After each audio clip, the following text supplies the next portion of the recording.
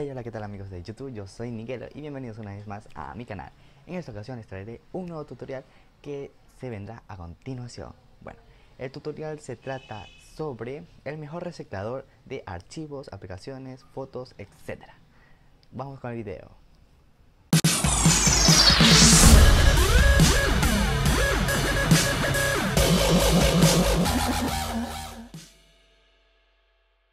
Antes de comenzar con el video, te voy a dar una sugerencia. Suscríbete a mi canal para que no te pierdas de ningún tutorial que se vendrá a futuro.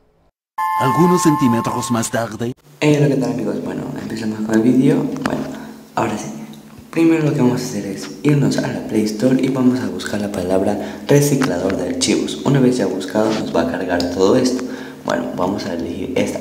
Es la más, bueno, es la mejor aplicación donde se recicla cualquier tipo de archivo, aplicación, música, canciones, fotos, videos, etc.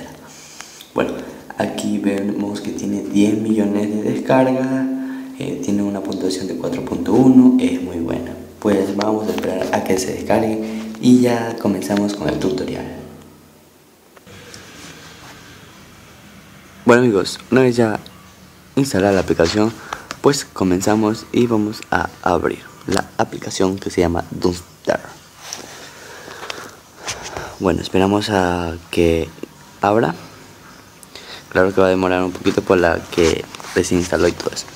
Bueno, una vez ya puesto dice The freedom to make mistakes. Bueno, este ahora vamos a esperar. Bueno, ahí dice enséñame cómo.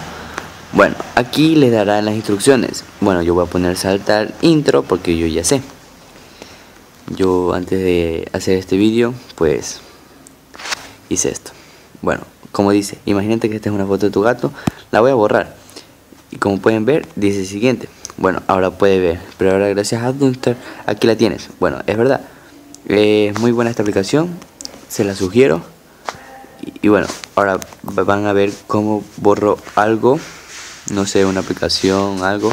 Bueno vamos a, a borrar esto vamos a aceptar. Vamos a borrar esto. Estoy borrando cualquier aplicación no me interesa cuál sea y verán como Dumpster las guarda.